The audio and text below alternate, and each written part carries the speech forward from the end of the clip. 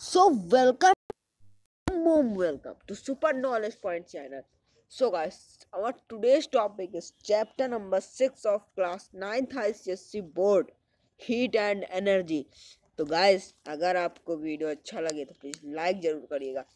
चलिए, आज हम लोग अपने टॉपिक हीट एंड एनर्जी को स्टार्ट करते हैं। तो गाइस अगर आपको वीडियो अच्छा लगे तो लाइक करिए चैनल को सब्सक्राइब करिए तो चलिए स्टार्ट करते हैं। सबसे पहले अगर हम लोग बात करें हीट एंड एनर्जी की so it is a transformer object to colder object is no मतलब कि एक एनर्जी एक एनर्जी एक हीट एक फॉर्म ऑफ़ एनर्जी है, जिसका ट्रांसफ़र एक वार्मर मतलब हॉट बॉडी से कोल्ड बॉडी होता है या वार्मर ऑब्जेक्ट से कोल्डर ऑब्जेक्ट होता है। तो इसे, इसी को हम लोग क्या कहते हैं? थर्मल थर्मल एनर्जी कहते हैं हम लोग, इसी को थर्मल क्या कहते हैं गाइस थर्मल एनर्जी कहते हैं।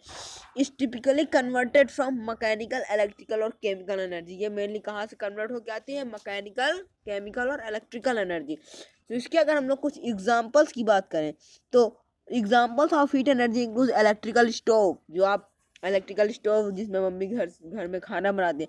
कॉम्प्रेस अगर कैम कैम्प्रेस अगर the sun and a hot cup of tea तो ये सब क्या है? हीट एनर्जी के एग्जांपल है।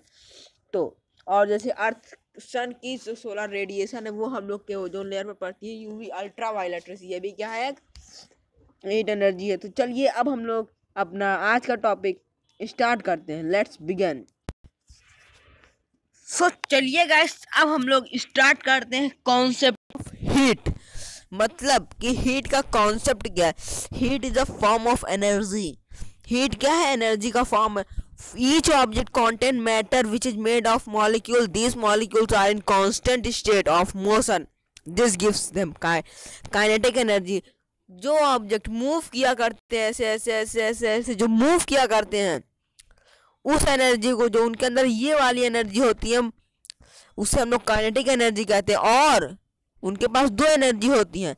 और एक जो एनर्जी होती है, एक दूसरे को अट्रैक्ट करने की, एक दूसरे को अट्रैक्ट करने की जो एनर्जी होती है, उसे हम लोग एक बहुत अच्छा सा नाम देते हैं, और वो नाम है पोटेंशियल एनर्जी क्या है गाइस वो?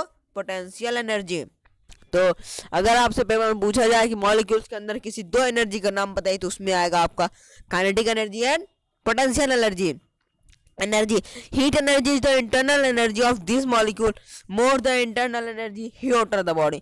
मतलब कि हीट एनर्जी एक मॉलिक्यूल्स के अंदर की इंटरनल एनर्जी है। तो अगर इंटरनल एनर्जी ज़्यादा है तो बॉडी हॉट है। अगर इंटरनल एनर्जी लो है तो अगर इंटरनल एनर्जी लो है तो बॉडी कोल्ड है। We can define heat as a form of energy that flows तो चलिए गाइस अब हम लोग यूनिट किसी भी चैप्टर अगर हम लोग फिजिक्स का कोई भी चैप्टर स्टार्ट करेंगे, उसमें यूनिट का बहुत इंपॉर्टेंट रोल होता है। तो यूनिट चलिए डिस्कस कर लेते हैं हम लोग। तो the S I unit of heat is joule मतलब जो जूल होता है, उसकी एस आई यूनिट क्या होती है? मतलब सॉरी हीट की एस आई यूनिट क्या होती है? जूल जिसे हम लोग कैपिटल जे से डिनोट करते हैं। और अगर हम लोग इसकी सीजीएस यूनिट की बात करें तो वो होती है अर्ग। क्या होती है गैस अर्ग। और इसके अगर हम लोग कुछ और अदर यूनिट की बात करें तो वन किलो कैलोरी में थाउज़ेंड कैलोरी होते हैं। और अगर हम लोग जूल और कैलोरी को रिलेट करें तो हम लोग का आएगा one calorie is equal to four point one eight six joule तो चलिए गैस हम लोग का हीट का टम टॉप टम हीट का खत्म हुआ हम लोग का टॉपिक अब हम लोग बात करेंगे कॉन्सेप्ट ऑफ़ टेम्परेचर वो भी नेक्स्ट वीडियो में। तो गैस चैनल को सब्सक्राइब कर दीजिएगा, मैं जल्द ही नेक्स्ट वीडियो बनाऊँगा।